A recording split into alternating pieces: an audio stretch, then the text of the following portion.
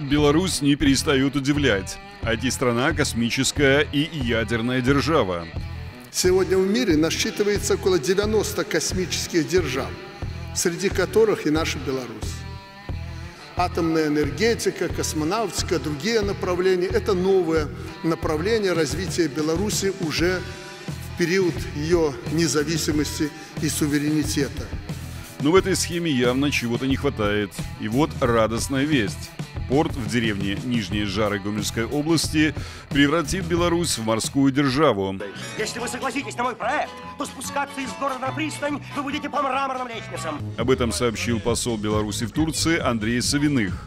Андрей, пожалуйста, уточняйте, что вам в кальян засыпали, мы за вас волнуемся.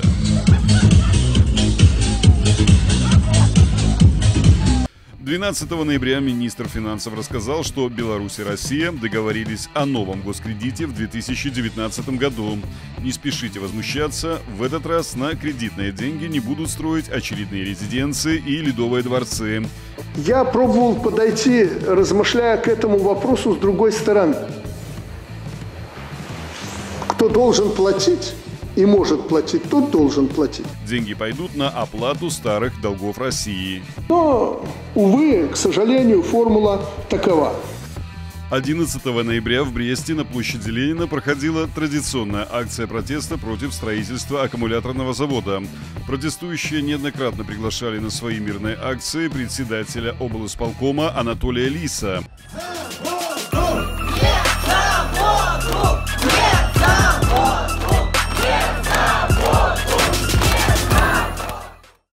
Илис пришел, правда не Анатолий, а ростовая кукла. Скучающая Мон принял решение задержать Лиса. Дети играли, дети играли. Ну что это вы? Вы молодцы или нет? Это, это же позор, это движение.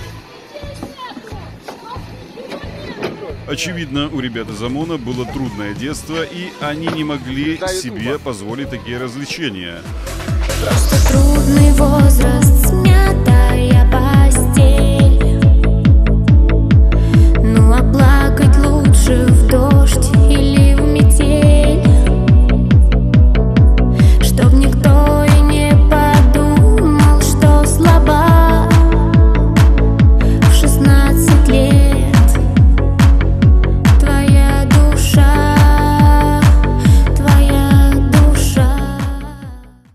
Либо ревность, либо ребятам захотелось ролевых игр.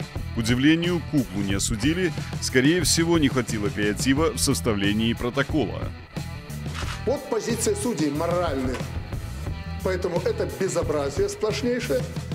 Я его иначе объяснить не могу. 12 ноября в Минском торговом центре «Арена Сити» обвалился потолок.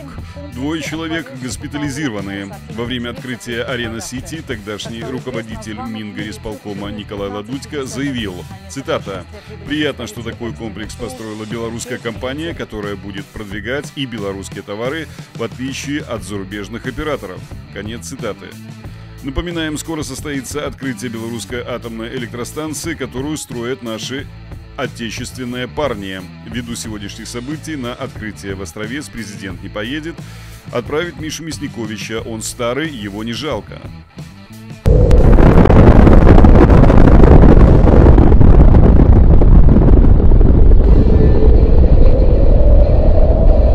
Десятки тысяч болгар вышли на улицу и заблокировали въезды в страну в знак протеста против повышения цен на топливо на автозаправках.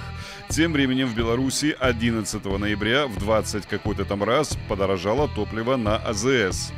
Повышение цен на топливо на одну копейку позволяет адаптировать потребителей к росту, а также контролировать ситуацию по росту, исходя из возможного колебания. Со слов главы концерна, продажа топлива на внутреннем рынке глубоко убыточна, что не может перекрыть ни экспорт, ни иные меры. Миллионы белорусов провели кухонный протест под лозунгом «Мы еще потерпим». О, блин, я горю! О, жопа горит! О, подушите мою жопу! А!